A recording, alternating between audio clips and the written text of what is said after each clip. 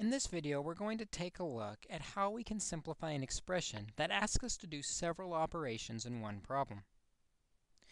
If we do the operations in different orders, we'll get different answers.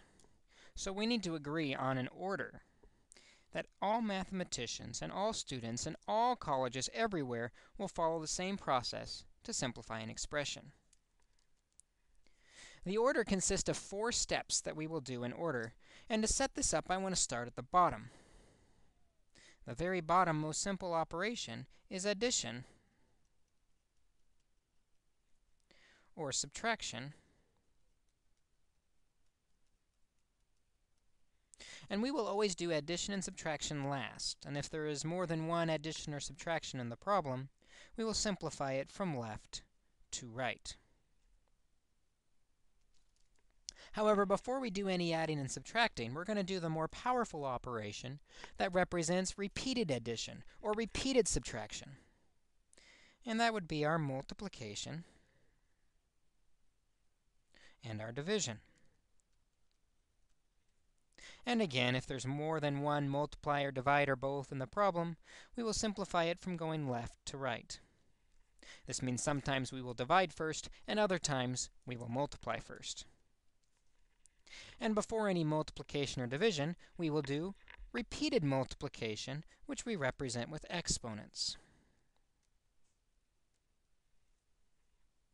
Finally, above everything else, if we want to do something out of the normal order, we put it in parentheses. The quicker we can remember this order, parentheses, exponents, multiply and divide, add and subtract, the quicker we will be able to simplify expressions, as quite often as we study pre-algebra and even algebra, we'll come back to this set order. So one way people like to remember this order is they remember this mnemonic, please, excuse, my dear, aunt, Sally, where the first letter stands for parentheses, exponents, multiply and divide, and add and subtract to give us the order. Another way students often remember is they think about this funky word PEMDAS. PEMDAS, which I often write vertically to remind me that multiplication and division can be switched, and addition and subtraction can be switched, just left to right.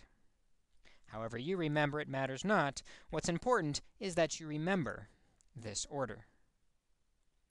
Let's try an example and see if we can remember the order that comes from PEMDAS. PEMDAS tells us to do the parentheses first. Inside the parentheses, order of operations asks us to start with the exponent. So we'll do the exponent first, and I'll copy the rest of the problem exactly like it is. 5 plus 3, parentheses 2 plus 4 squared is 16. Continuing to simplify inside those parentheses, we now have 5 plus 3, and then in parentheses, 16 plus 2 is 18. Next, we would look for exponents, but there are none. So then we'll move on to multiplication and division. Because the 3 is right next to 18, we assume that means multiplication, and we'll multiply 3 by 18. This gives us 5 plus, and 3 times 18 is 54. Finally, at the end, we'll do our addition and subtraction. 5 plus 54 is 59, and we have our solution. Notice we're careful to follow the order of operations, doing the parentheses first. There were no exponents, so next we multiplied, and finally, we added. In part 2 of this video, we'll take a look at a second example that's a little more involved as we simplify using the order of operations.